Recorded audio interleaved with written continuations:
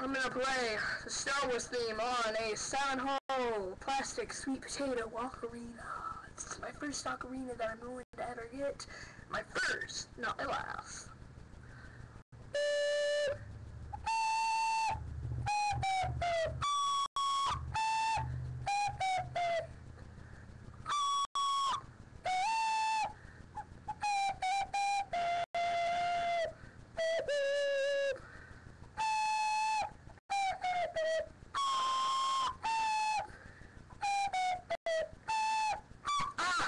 Okay, wait, sorry.